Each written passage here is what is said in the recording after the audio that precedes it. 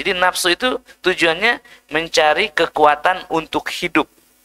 Nafs itu. Didapat dari mana? Didapat dari semua bahan yang Allah ciptakan di bumi. Tumbuh-tumbuhan, buah-buahan, akar-akaran. Yang semua mendapat energi dari matahari. Jadi tumbuhan itu nggak dapat energi kan kalau nggak ada matahari. Nah, energi matahari dikasih siapa? Dikasih siapa? Dikasih Allah. Allah nyalain matahari, lalu matahari membagi-bagikan energi kepada semuanya. Betul begitu kan?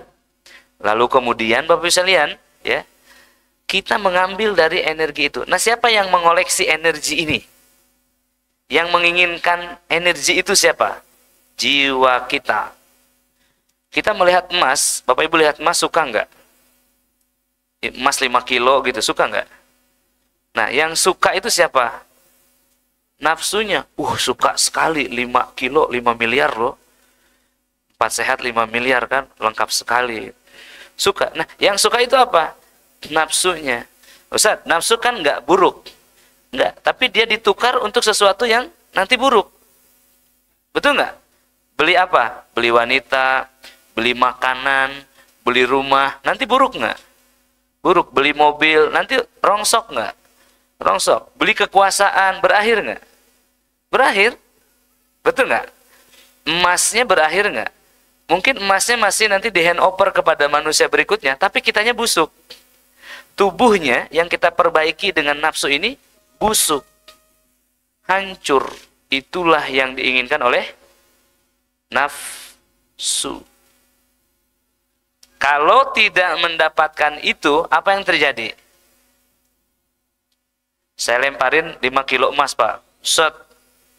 Lalu bapak-bapak rebutan. Ada yang nggak dapat nggak? Yang nggak dapat bagaimana rasanya? Ah, kecewa. Betul nggak? Kecewa itulah yang disebut penyakit jiwa. Coba, ibu ada kecewa enggak? Pasti sebabnya enggak mendapati apa yang dia inginkan. Yang diinginkan itu semuanya pasti sesuatu yang buruk. Begitu? Saya panjang sekali jelasin apa ini nafsu. Paham nggak ya kira-kira? Paham nggak ya?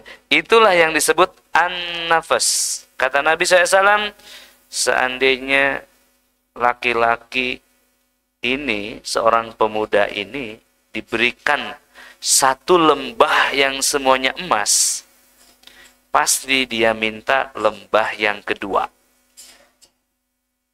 Dan tidak ada yang bisa memuaskan nafsunya kecuali tanah yang masuk ke mulutnya. Maksudnya gimana itu?